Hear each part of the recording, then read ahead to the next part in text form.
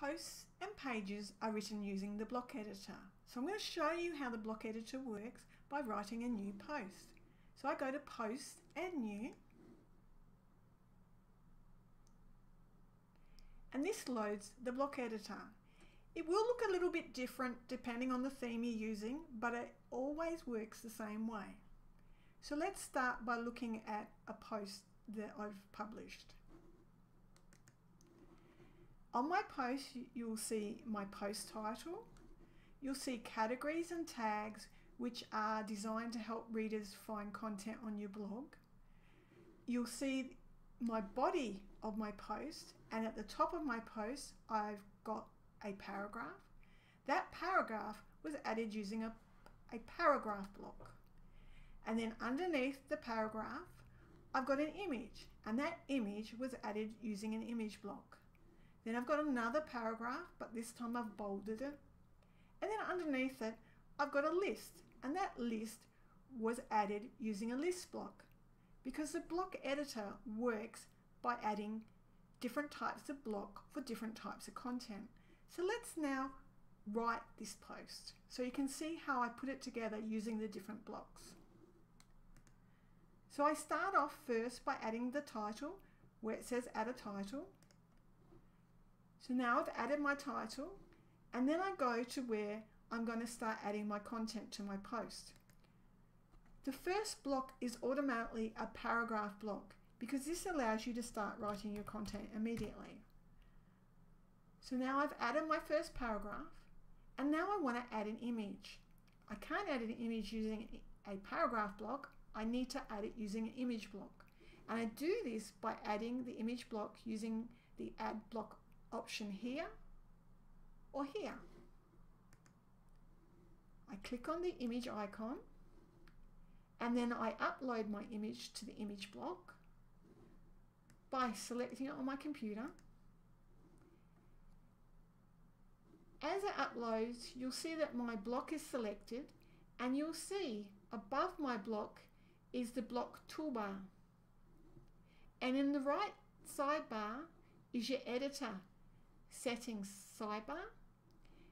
And you'll also see options for your block there as well. If you don't see it, click on the settings. That's used to show and hide it. So here I could add alt text, I could change my image size. If I click on my image, I can change my alignment. I could link my image to a website if I wanted to or my media file.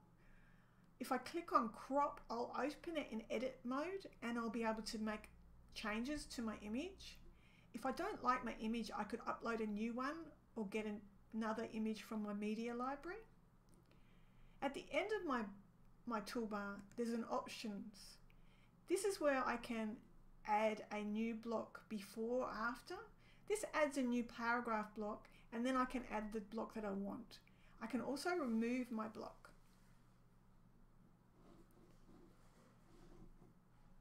If I click on my paragraph block, you'll see that the formatting toolbar looks slightly different because it only includes the type of formatting I need to do for a paragraph and you will see in the sidebar that I've got different options for formatting my paragraph.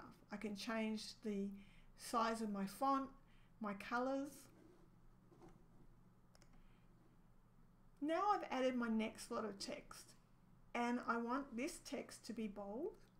So I select it and click bold.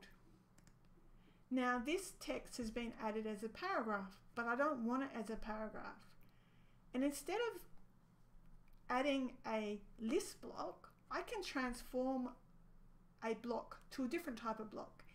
And, and every block toolbar includes a change block type or style.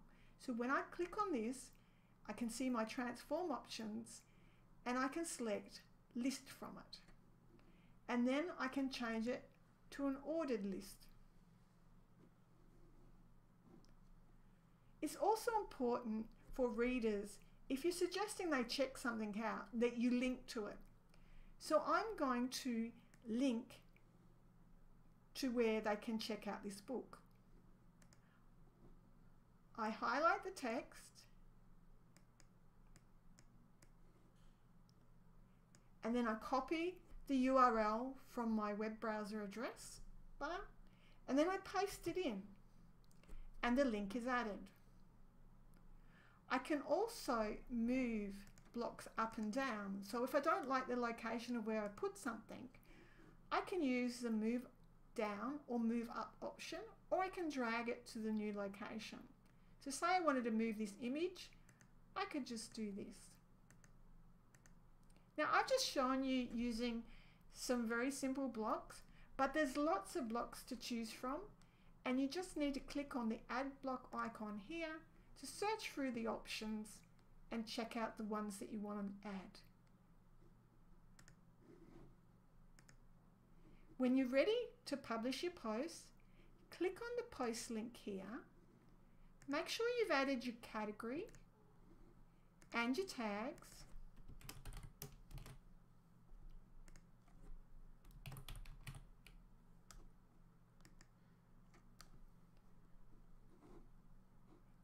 And then click publish. It'll ask you to confirm and then you click publish again. And there you go. Your post has been published.